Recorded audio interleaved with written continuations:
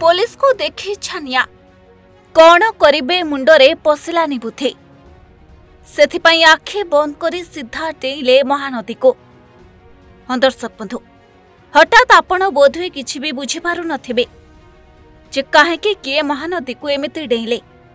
ଆମେ ଜଣାଇ ରଖିବୁ କି ଏ ହେଉଛି ଗଞ୍ଜେଇ ମାମଲା। ଗଞ୍ଜେଇ ଚୋରା ଚାଲାଣ କରିବାକୁ ଯାଇ ପୋଲିସ ଧରିବାକୁ ଯିବାବେଳେ ଅଭିଯୁକ୍ତ ସିଧା ଛାନିଆ ହୋଇ ଡେଇଁ ପଡ଼ିଛି ମହାନଦୀକୁ। ଟିକେ ନଜର ପକାନ୍ତି ଦୃଶ୍ୟ ଉପରେ। କେମିତି ସୁନ୍ଦର ଭାବରେ ପାଖକୁ ପାଖ ରଖାଯାଇଛି ବସ୍ତା। ଆଉ ଏ ବସ୍ତା ଭିତରେ ଅଛି ଗଞ୍ଜେଇ। ବୌଦ୍ଧ ଜିଲ୍ଲା ବାଉଁଶୁଣୀ ପୋଲିସ ପକ୍ଷରୁ ଚଢ଼ାଉ କରାଯାଇଥିଲା।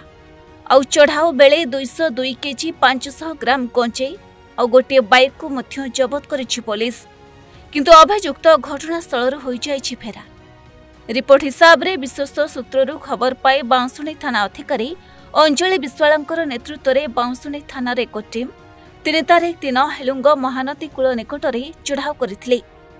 ଗଞ୍ଜେଇ ମାଫିଆ ମହାନଦୀ ପାର କରି ସୋନପୁର ଜିଲ୍ଲାକୁ ଡଙ୍ଗା ସାହାଯ୍ୟରେ ଗଞ୍ଜେଇ ଚୋରା ଚାଲାଣ କରିବାକୁ ଡଙ୍ଗାକୁ ଅପେକ୍ଷା କରିଥିବା ବେଳେ ଘଟଣାସ୍ଥଳରେ ପହଞ୍ଚି ଯାଇଥିଲା ବାଉଁଶୁଣୀ ପୋଲିସ। ଆଉ ପୋଲିସ ଭୟରେ ଗଞ୍ଜେଇ ଚୋରା ଚାଲାଣକାରୀ ମହାନଦୀକୁ ଡେଇଁ କୁଆଡ଼େ ଖସି ପଳାଇ ଯାଇଛନ୍ତି।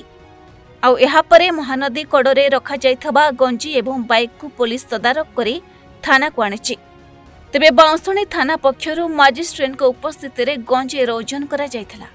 ସେପଟେ ବାଉଁଶୁଣୀ ଥାନା ପକ୍ଷରୁ ସତାନବେ ବାଇ ଚବିଶରେ ଏକ ମାମଲା ରୁଜୁ କରାଯାଇ ଏହାର ଅଧିକ ତଦନ୍ତ ଜାରି ରଖାଯାଇଥିବା ବାଉଁଶୁଣୀ ଥାନା ଅଧିକାରୀ ସୂଚନା ପ୍ରଦାନ କରିଛନ୍ତି।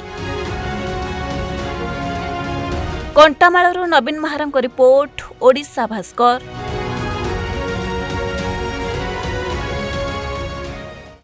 जतक विचार एवं गृह वास्तु जनित समस्या समाधान जोाजोग करूँ ज्योतिर्विद, वास्तुविद, श्री मानस चंद्र नायक।